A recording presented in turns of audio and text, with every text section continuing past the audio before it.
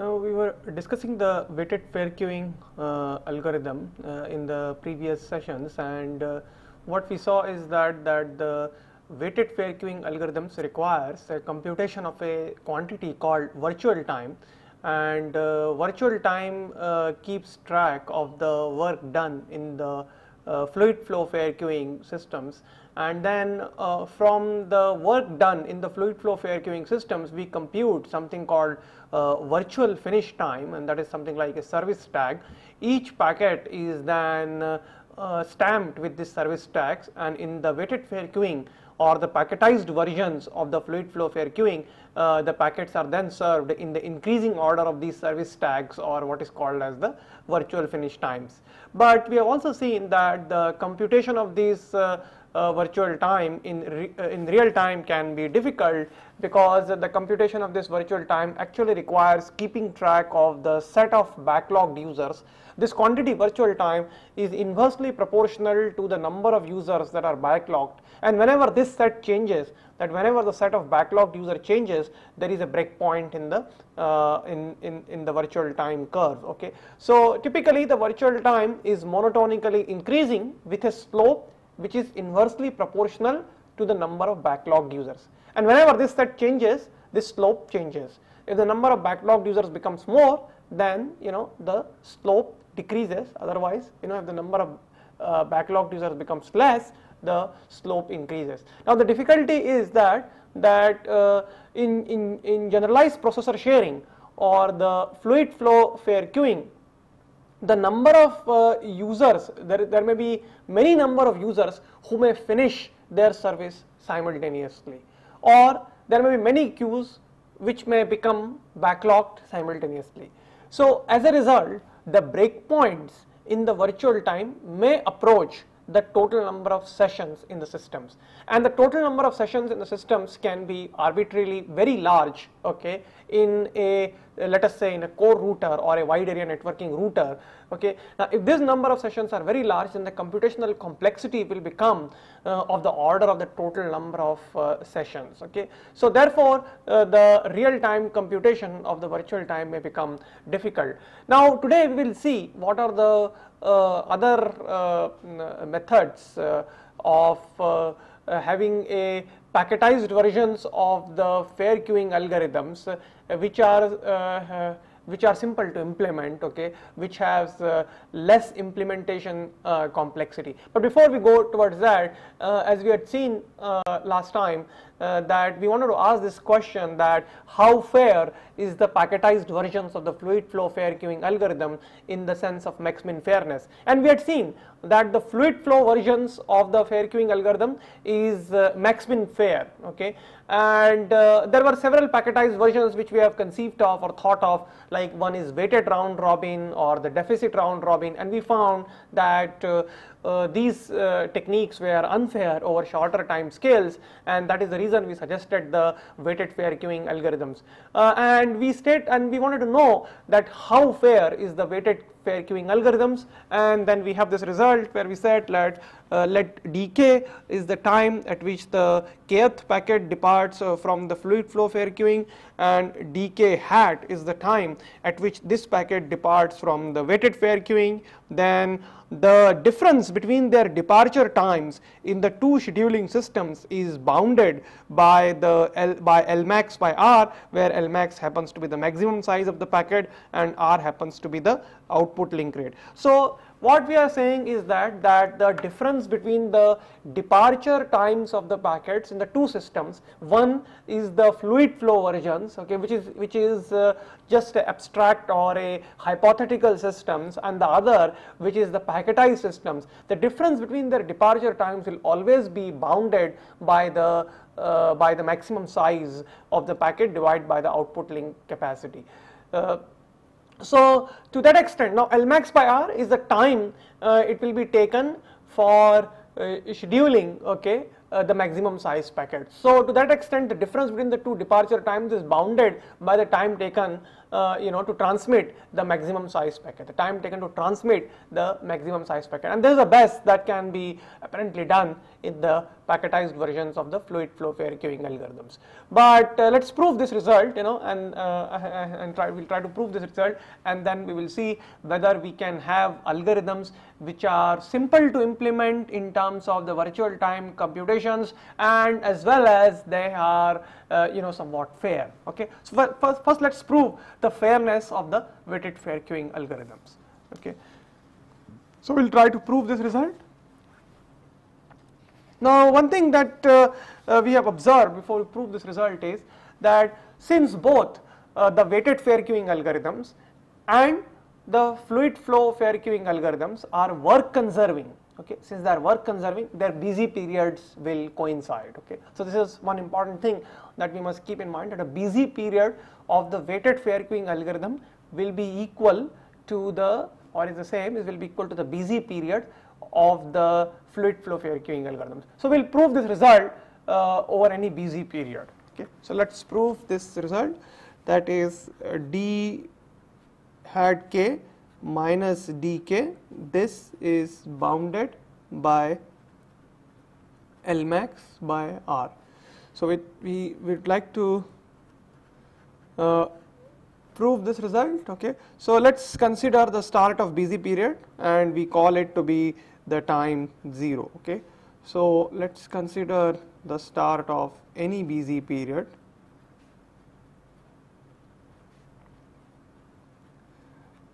okay.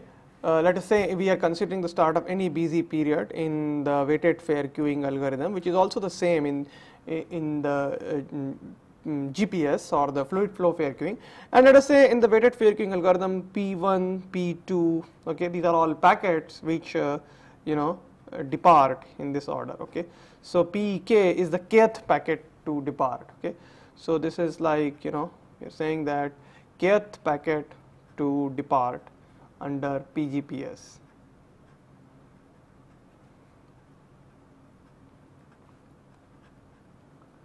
now what we say is that that let m be the largest integer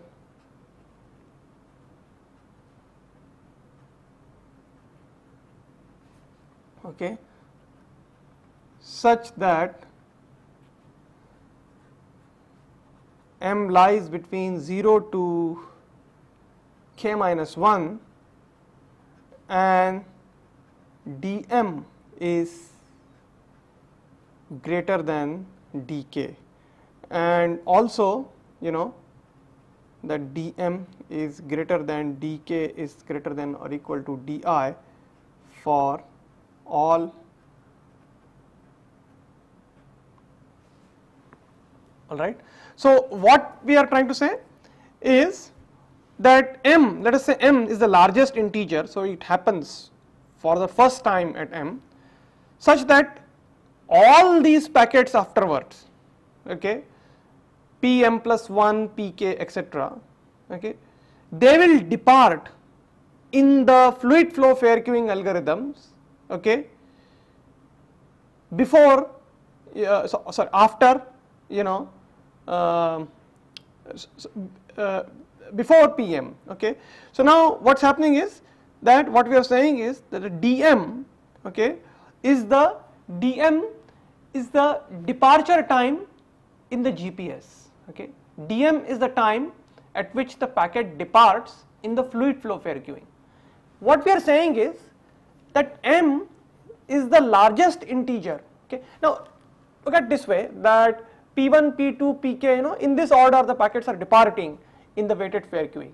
All right now m is the largest integer where dm is greater than dk that means the packet pm okay that departs in weighted in in in fluid flow fair queuing after pk okay, it departs after pk.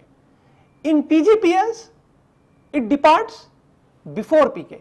So, in weighted fair queuing, it is departing you know before pk, but in fluid flow fair queuing, it is departing after pk. Okay.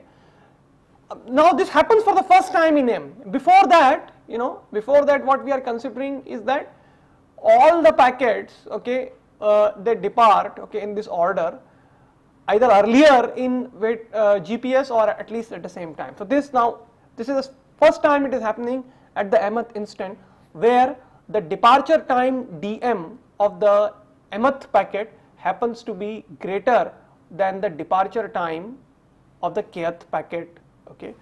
So we'll, so what we are trying to say is that that the packet pm is transmitted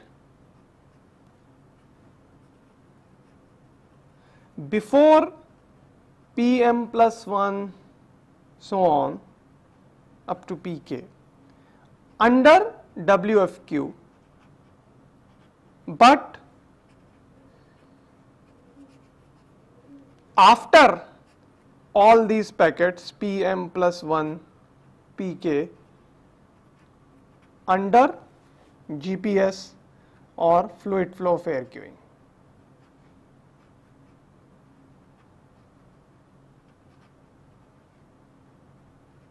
Right. so that is what we are trying to say. Let m is the largest integer that means uh, you know it happens for the first time in m where the packet pm happens to be transmitted before pm plus 1 pk. So you know this packet obviously is transmitting before all these packets in the weighted fair queuing but this packet gets transmitted after pm plus 1 pk etc in the fluid flow versions of the fair queuing algorithms alright. If uh, you know if no such m exists then obviously m is equal to 0. So we will prove this results for m greater than 0.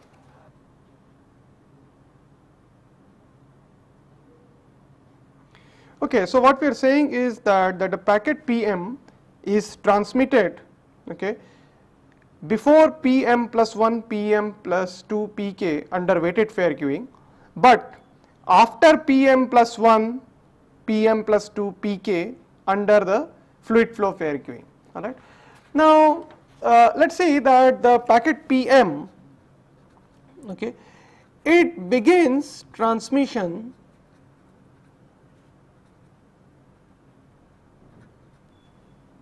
at d hat m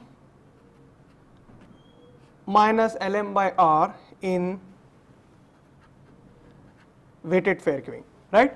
Now d hat m is the time at which the mth packet that is the pm packet departs in the weighted fair queuing. lm is the length of the packet and lm by r is the transmission time. So therefore the pm packet will begin transmission at at this time okay. Now note that these packets that is pm plus 1 pm plus 2 you know all these packets these pk they all of these packets obviously arrive after d hat m minus lm by r. However they depart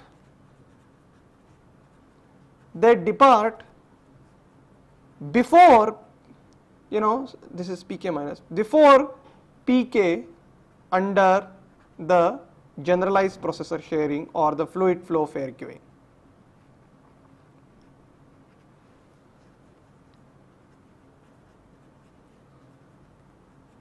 And this is easy to see, but we assume that the packet PM begins transmissions at this time and it is very easy to see that these packets m plus 1th packet m plus and up to k minus 1 packet they all arrive after d hat m minus lm by r but all these packets depart before the kth packet under the fluid flow fair queuing right. So therefore dk will be greater than now dk is the time at which this kth packet departs in the fluid flow fair queuing system. So therefore dk is greater than or equal to 1 upon r lk plus lk minus 1 these are all the length of the packets of the respective packet so on till lm plus 1 okay these are all you know the times it will take to transmit the kth packet k minus 1th packet and m plus 1th packet plus d hat m minus lm by r because all these packets, you know, they are all arriving, you know, after d hat m minus lm by r.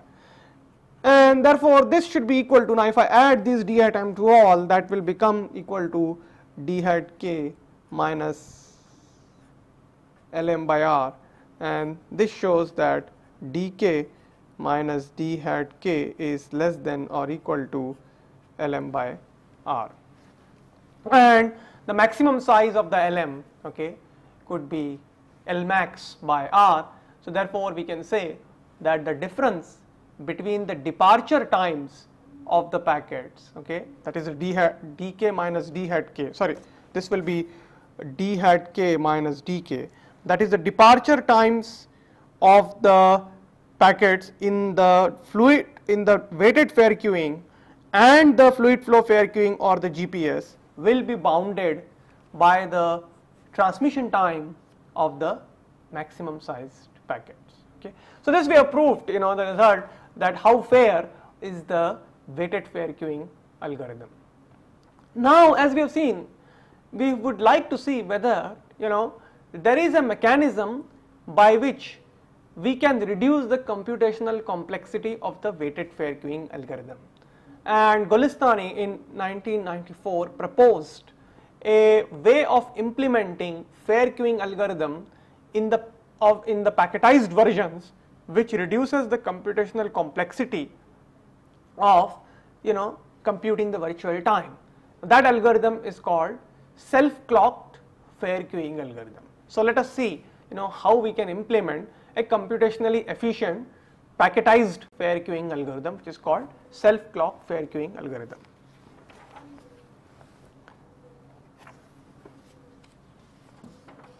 Now, before we go to the self clock fair queuing algorithm which is actually you know trying to see whether we have an approximation to computing the virtual time okay or a computationally efficient way of computing the virtual time.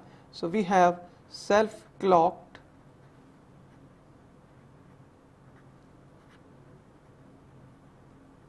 fair queuing which is also called as abbreviated as SCFQ.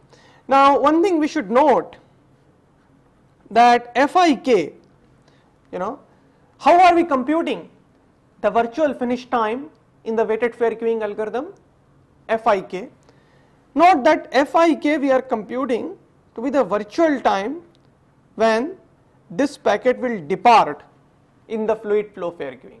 Right.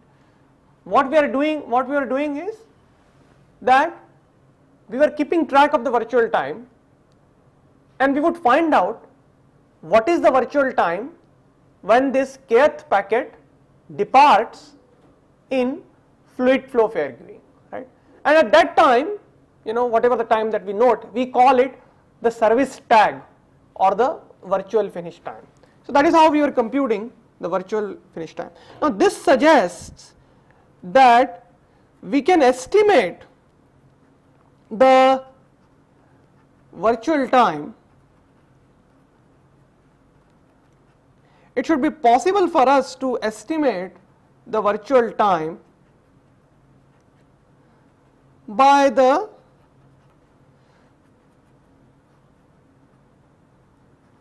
by the finish tag of the packet.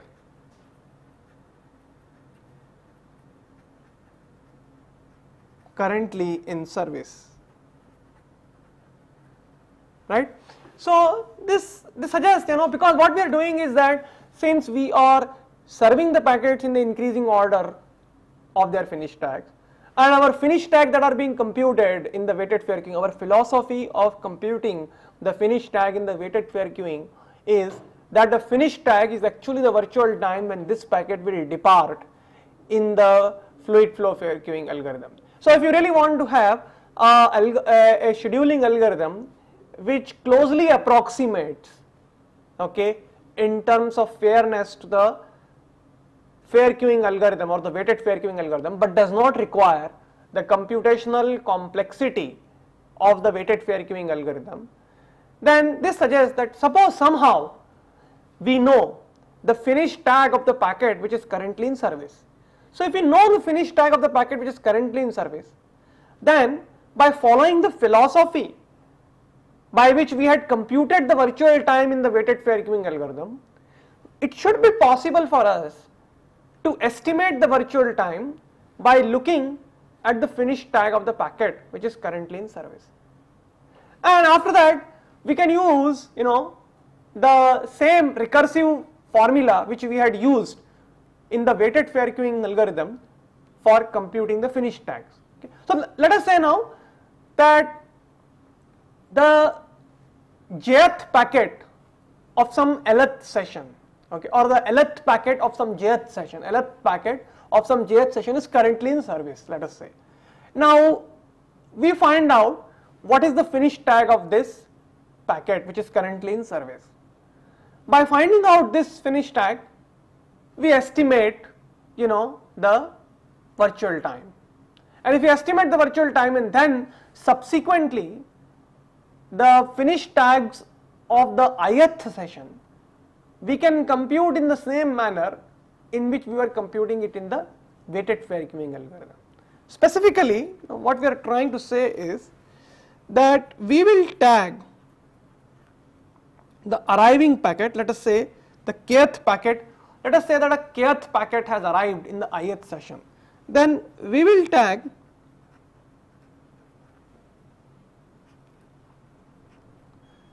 the arriving packet.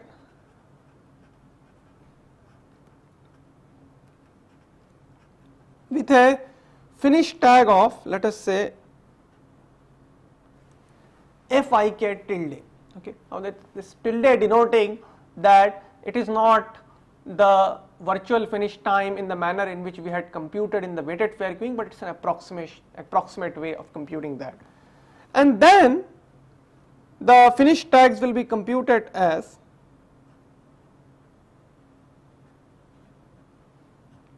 Lik upon rho i plus max of Fik minus 1 tilde that is the finish tag of the k minus 1th packet and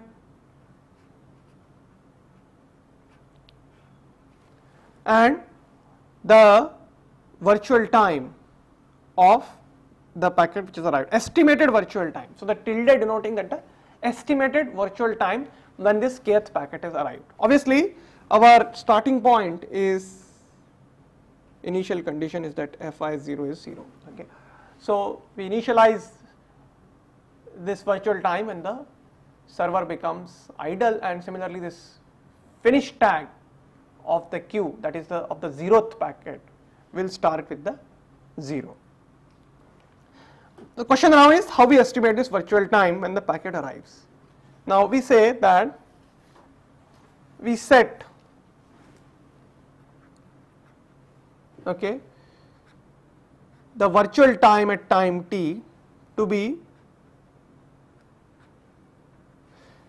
the finish tag of the lth packet of the jth service which is currently in service. So that means you know if the time t lies between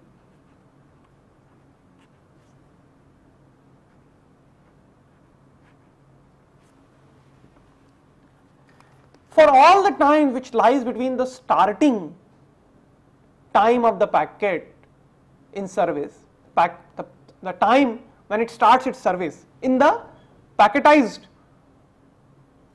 fluid flow fair queuing algorithm which is denoted by s hat you know lj that means this is the starting time of the packet for the service of the lth packet of the jth session okay? So for the time t for all time t lying between the start times and the departure times that is d okay for all these times we will set the virtual time to be equal to the finish tag of the packet you know which is Uh, FJL. Okay. And after putting this, we will compute, we will compute the finish tags of the ith sessions packet. Okay. Now the situation is something like this that the, some some lth packet of the jth session is currently in service. Now let us say that this packet starts its service at time sj and you know it finishes its service at time dj. You know. So between all those times, we will you know compute the virtual time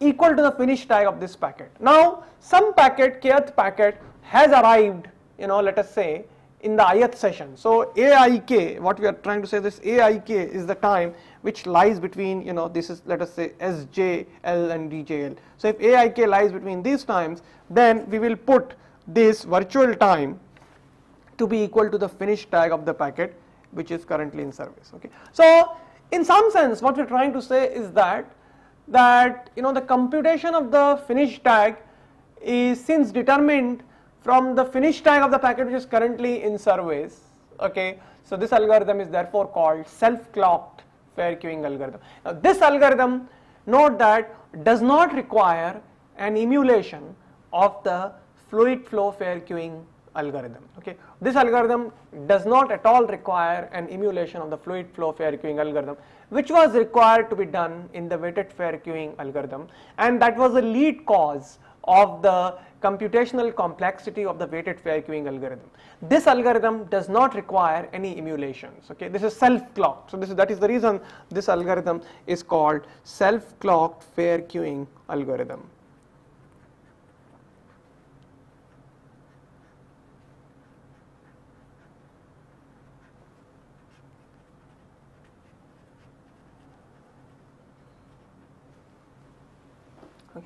Obviously the question is same that is self clock fair queuing algorithm fair okay. So for this Golestani introduced the notion of what is called as relative fairness. So we will study the notion of relative fairness later but just try to understand you know the fairness notions okay somewhat differently. Now note while computing the finish tag in the self clock fair queuing algorithm we had put this finish tags to be recursively computed by Lik upon rho i. Now note that Lik is of course the length of the packet and rho i is the rate which has been allocated to it. So therefore this is the transmission time plus we are adding these you know. So the question obviously that arises is that why we add this quantity like this, why don't we do something like this that Fik that is the finish tag we compute as Lik upon rho i plus Fik minus 1. That is, you know, if we know the finish tag of the k minus 1th packet, which is a packet ahead of uh, us, then if we know the finish tag of that, then we keep on simply adding the length of the packet divided by rho i, that is the transmission time, and then compute the finish tags. So what is the what is the difficulty, okay, or what is the problem uh, uh, in, in in in in having like this? The difficulty is that, that suppose right now a packet is in service um, and uh, let us say that its uh, finish tag is F.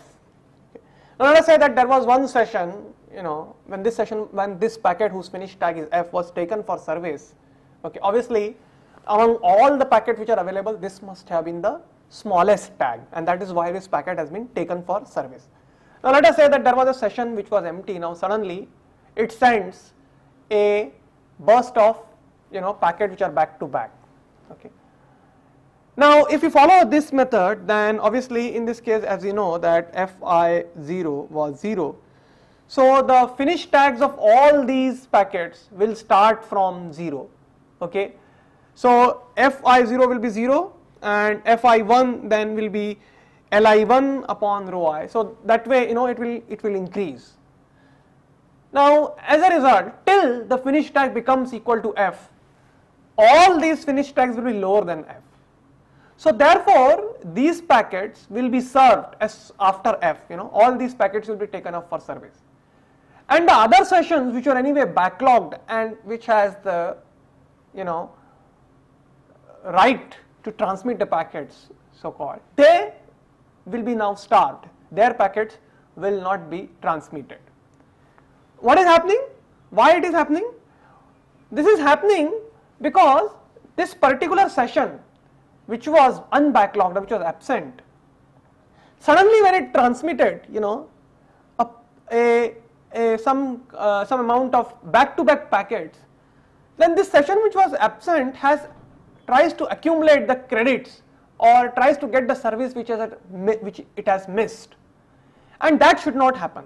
Okay, the normalized service missed by this session okay should not happen and that should be added to that okay while computing the virtual finish time. So, so that is the reason you know what we need to do is that we need to add okay uh, we need to add on this fik while computing the virtual finish tax lik upon rho i plus max of you know fik minus 1 v hat aik. Now this is actually denoting okay that the normalized service which is missed by the session you know this this v, v hat ik the normalized service missed by the session should be added while computing the virtual finish times otherwise the sessions which are unbacklogged or the sessions which are absent get an undue advantage by accumulating the credits for the service which they have missed and then you know try to transmit now okay or try to transmit more packets and therefore become you know causing unfairness to the other sessions okay. So this is really you know the concept that a session will never get you know such service. The service you know the normalized service which it has missed while it was unbacklogged. So then while asking this question that whether the self clock fair queuing algorithm is fair or not okay uh, it was argued that we will introduce a notion of something called as the relative fairness okay. What is the relative fairness? In the relative fairness we will try to see what is the difference between the normalized service received by two sessions. What is the difference between the normalized service received by two sessions which are backlogged in the self clocked fair queuing algorithms? And not try to compare between the normalized service received by this session in the self-clock fair queuing algorithm with respect to the fluid flow fair queuing algorithm. No, we will try to see what is the difference between the normalized service received by two backlog sessions in the self-clock fair queuing algorithm itself. Now, the philosophy is that note that the self-clock fair queuing algorithm is not based upon the emulation of the fair queuing algorithm. It is not based upon the, it is, it is a, it's a packet based fair queuing algorithm and our philosophy is that that we are designing a packet based fair queuing algorithms in such a manner that the normalized service received by two backlog sessions will if, if it remains bounded okay if it remains bounded by a small amount if it remains bounded by a small amount then obviously this algorithm can be said to be somewhat fair right? You know that is that is how the definition of the fairness is that we should not unfairly service other sessions at the expense of the other uh, at the expense of uh, some other sessions. So therefore you know the idea was that we will introduce the notion of the relative fairness which will try to measure uh, the difference between the normalized service received by two backlog sessions in the self clock fair queuing algorithm itself. Now let us see you know let us try to analyze how much is this bound.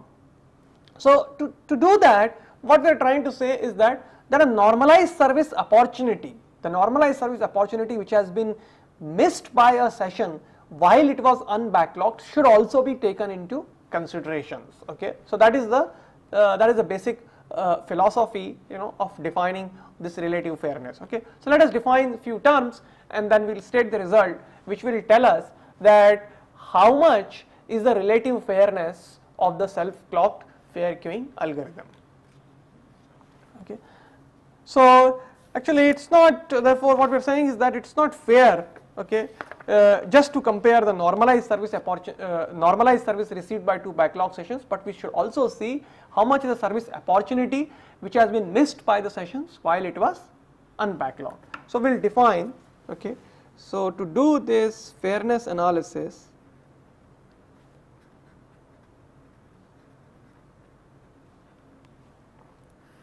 let us define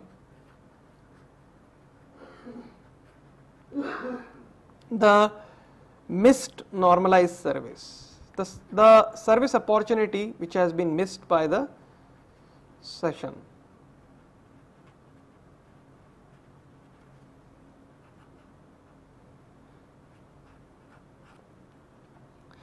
UIS, um, S, S I am just denoting it to be for some packetized uh, uh, scheduling algorithms or any scheduling S. So if S is uh, if S equal to WFQ then it will be it will be indicating WFQ if S is equal to GPS then it will be indicating the fluid flow fair queuing algorithms if S is equal to SCFQ then it will indicate it for the self clock fair queuing algorithm. So define UIS to be equal to 0 at time time 0 and UIST minus UIS tau to be equal to 0 you know if the ith session is backlogged in in that uh, flow, uh, fair queuing algorithm between tau to t and this is equal to vst minus vs tau if this session is you know unbacklogged.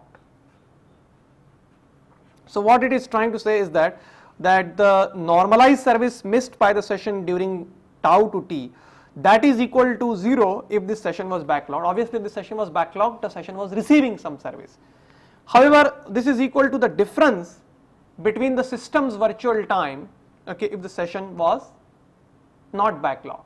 Okay. What it is trying to say that the system's virtual time is keeping track of the work done by the system. Okay. So, if this session was not backlogged during an interval of you know tau to t then in that case the normalized service opportunity missed by it will be equal to the uh, you know increase in the virtual time the system virtual time that has occurred okay the second thing is that uh, we now define the okay so uh, obviously the uh, you know the interval tau to t is any sub interval of the busy period whether this where the session i is either absent or it is backlogged okay. now the virtual time so we define this quantity which is called virtual time of session i okay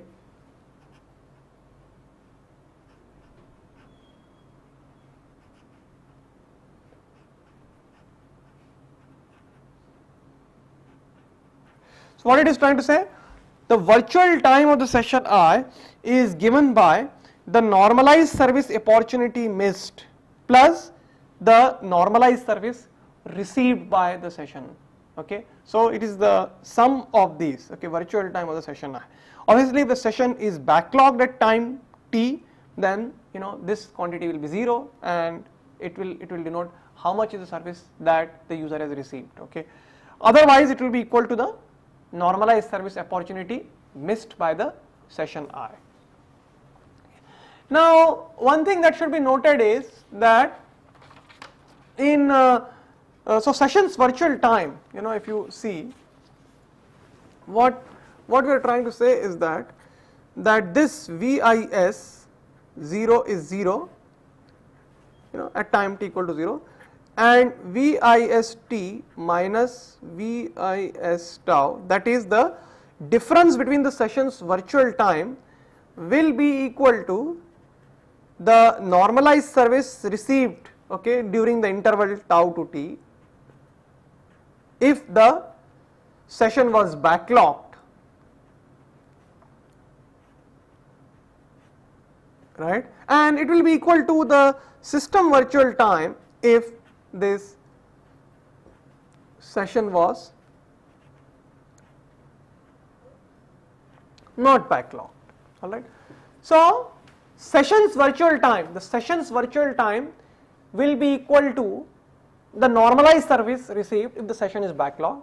Otherwise, it will be equal to the system's virtual time if it is not backlogged. We define now the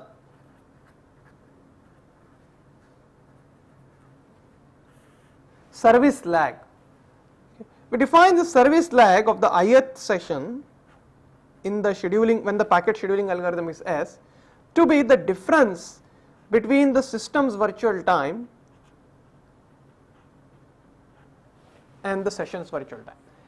It actually indicates how far behind the session i is with respect to the system's you know virtual time that is the progress of the actual work done in the system. So, that will indicate how much session i is lagging behind the service. Okay. Now let us look at the specific example of the GPS or the fluid flow fair queuing algorithm.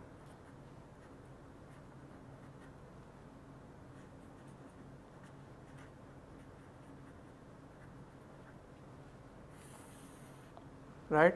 Now in the fluid flow fair queuing algorithms the sessions virtual time okay that is VIS T2 minus VIS T1 okay? The difference between the sessions virtual time that will always be equal to the system's virtual time for all sessions i okay? It will always be equal to the system's virtual time. That means what we are trying to say is that in GPS server the sessions virtual time, the sessions virtual time is always equal to the system's virtual time, right. In the GPS server the sessions virtual time is always equal to the system's virtual. That means the service lag, the service lag of the session i, okay, in the GPS server is always 0, okay. So in GPS server the service lag of a session is always 0.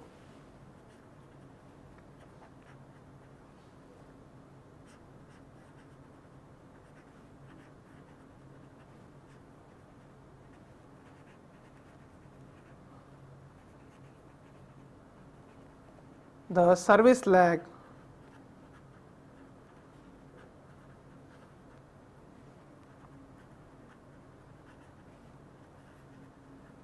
is always 0. So the session's virtual time is always equal to the virtual time of the system in the fluid flow fair queuing algorithm and this leads to the service lag of you know the session the service lag of the session being always 0 in the fluid flow fair queuing algorithm. Note that this is not true in the packetized versions of the fair queuing algorithm and why why the uh, service lag is 0 because the session's virtual time is always equal to the system's virtual time okay? Because system's virtual time is increasing in proportion to the normalized service received by the backlogged users right?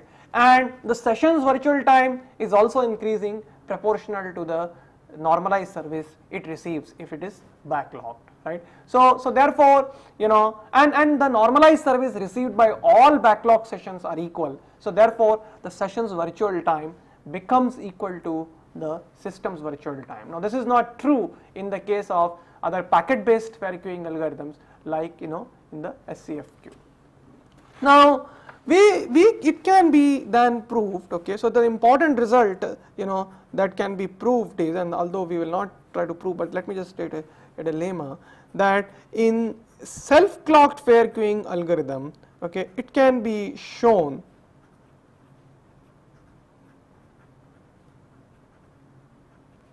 that the service lag right that is the WI SCFQ I will write that is the service lag okay which is equal to the difference between the sessions virtual time and the system's virtual time okay which is equal to the V of SCFQT minus or VI of SCFQT that is the difference between the system's virtual time and the session's virtual time. This is the service lag is bounded by okay L max okay the maximum sized packet of the ith session by rho i.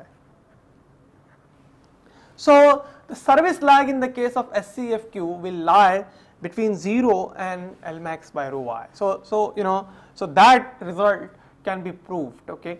Note that in the case of a fluid flow fair queuing algorithm the service lag is 0. In the case of self clock fair queuing algorithm the service lag is not 0. The session i is may lag behind one particular session may lag behind the uh, the work done in the systems but that remains bounded and that is what you know this result is trying to prove. So let us define now the differential service uh, uh, lag. So one corollary of this is that Wi SCFQ which is defined. So, with this we call it the differential service lag. This is the difference between delta I sorry uh, SCFQ T minus del I of SCFQ of tau right. So, the difference between the two service lags okay, which is which we are calling it to be the differential service lag which will be equal to V of that is the virtual time between tau to t minus V of Vi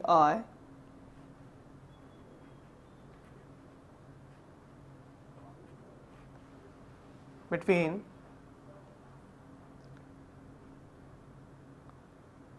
tau to t right. So, it follows that the differential service lag you know it will be bounded this differential service lag will be bounded by del i SCFQ tau t that will be bounded by Li max by rho right. This result we can prove it from from this. Now, which means for a session i which is backlogged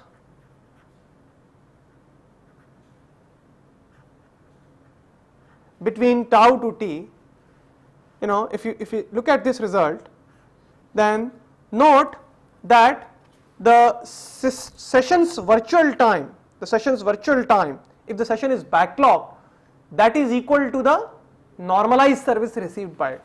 So therefore this indicates that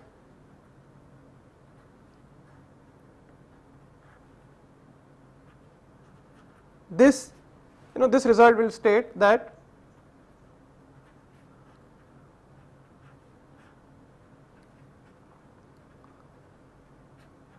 right because this is the differential service lag. The differential service lag is the difference between the system's virtual time t tau minus the session's virtual time tau t right? Now the session's virtual time that is equal to the normalized service received.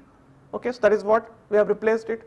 Now this means if there are two sessions i and j which are backlogged continuously backlogged in the SCFQ during this interval then from this result we will we will know that the difference between the normalized service received by these two sessions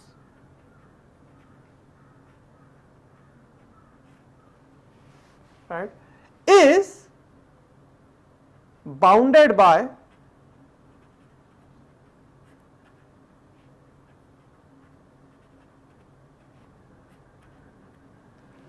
Li max by rho i plus Lj max by rho i. Now this is an important result which is actually trying to prove the relative fairness of the two sessions which are continuously backlogged during this interval in the SCFQ.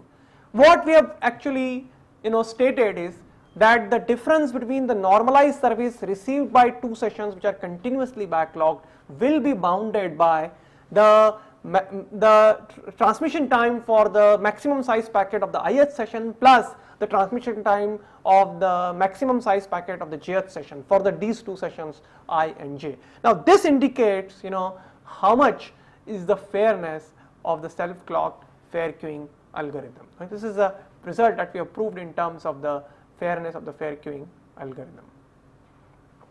Right. Now this is obviously uh, as we as I've already told you that in, in this case we are not trying to compare the fairness of the self-clock fair queuing algorithm with respect to the fluid flow fair queuing algorithm. This is some kind of a relative fairness notion that we have introduced. The reason being that, that we are not doing any, the philosophy was that we are not doing any emulation of the fluid flow fair queuing algorithm here. We are having a straight packet based queuing algorithm and we, we hoped that if the normalized service received by two backlog sessions in this packet based queuing algorithms, if it can be bounded by a small amount, then you know we, we, have done the job, we are almost fair, right. So, the question obviously is that that what is possible in any packet based queuing algorithm and there is a and there is a result which states that for any packet based system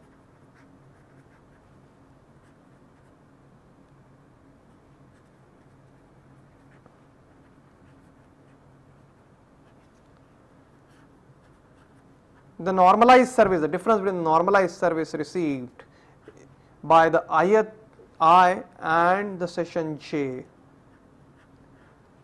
will be less than or equal to some quantity f i j which is not a function note that this is not a function of the interval tau to t the times tau to t is just a function of the sessions i and j and where this f i j will be greater than or equal to half of Li max upon rho i plus